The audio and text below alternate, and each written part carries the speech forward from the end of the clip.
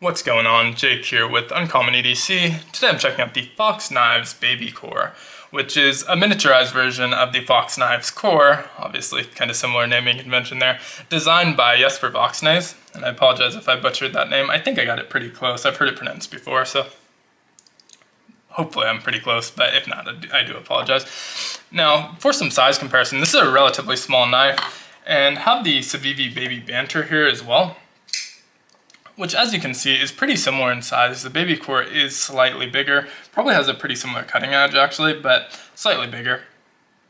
And that's both in length, thickness, and weight, or I guess I shouldn't say both, in all, all three of those categories.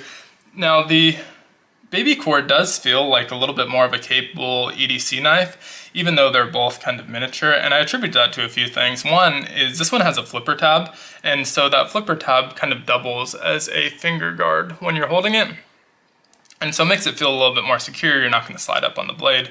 And there's also this kind of groove for accessing the liner lock, which again, just locks your finger into place. It feels a little bit more secure there. They're both a three finger grip. I'm not able to get my pinky on either of them. But this one's also a little bit thicker, which again, I feel like contributes a little bit to it feeling a little more secure in the hand. So even though they're both a three finger grip and kind of similar size, it just feels a little bit more capable than the Baby Banter which might not necessarily be true, but it feels that way. So I would have a little bit more confidence in cutting with the baby core on a little bit heavier duty tasks than I would with the baby banter.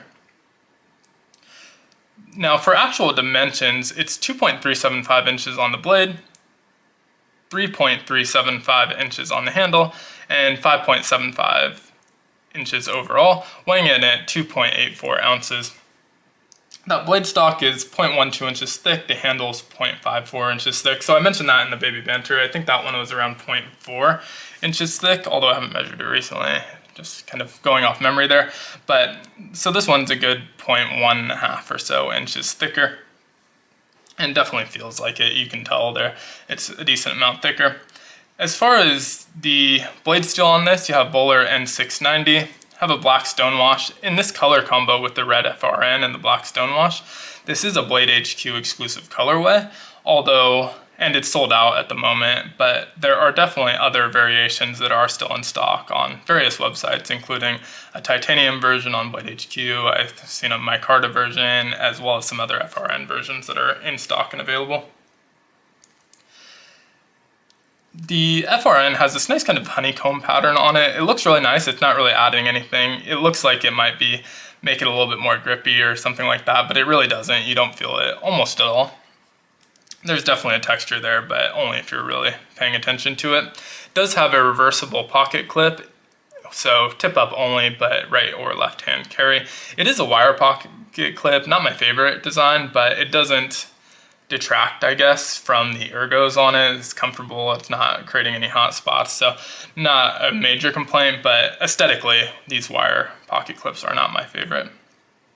As far as deployment methods go, I've already mentioned the flipper tab, which works really, really well, but it also has a thumb hole that you can use for deployment. Spidey flicking works really well. It's easy to get your finger in there and has kind of a comfortable placement.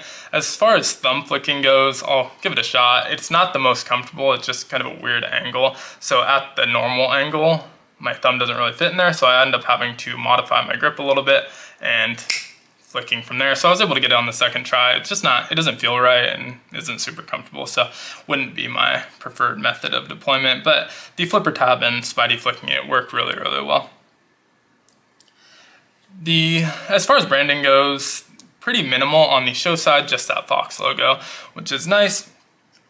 On the non-show side, you do have a little bit more branding. You have the designer mark, which just says Fox. You have the steel, which is N690CO, and Maniago, Italy, which is where it was made. So don't love the placement of it, don't mind that it's branded so much, but the placement just seems kind of slopped there in the middle which looks a little bit out of place to me. Would have preferred they tuck it away in the end or across the top of the blade, although that would mean showing when it's closed as well if they put it at the top of the blade, so maybe not. But in any event, I just feel like it's kind of slopped in the middle of the blade, so not my favorite placement. But overall, a really cool kind of miniature knife. It's a little bit small for me to be considered an EDC knife, but a nice secondary blade. It doesn't get as much pocket time as I feel like it should for as much as I like it. And that is probably because I think of it as more of a secondary knife. I wouldn't carry this as my primary knife, even though it's fairly capable. Again, for being only a three finger grip, it feels pretty secure and very usable. It just, again, outside of my preference for EDC, so it doesn't get as much pocket time as I'd like, but I really, really do like this knife quite a bit.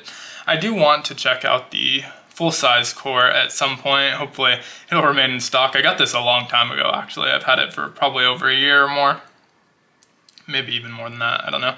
Um, but I've had it for a long time, and so hoping that it will stay in stock. So far it has, so do plan on checking that out at some point. But let me know down in the comments below what you think of the Baby Core, and if you have the Core, if you'd recommend it, if it has kind of a similar feel and vibe to this. I would imagine that it's kind of a similar ergos, just uh, on a larger scale, but definitely interested again in checking that out. And I can't remember the price point on that. I believe that one's over $100. This one, I should have mentioned earlier, but is $69.95, and that varies based on the material. So I think the micarta is a little bit more expensive, not significantly, and then the titanium is a decent amount more expensive. So micarta, I believe, is in like the $80 range, and the titanium, I want to say, is in the $110, $120 range.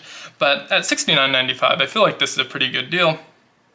Again, for a comparable knife to the Baby Banter, but feels a little bit more significant, a little bit more hefty, and again, a little bit more secure in your hand, which I think is worth kind of the trade-off of being slightly larger.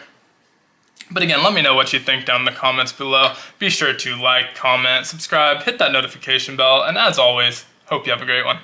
Take care.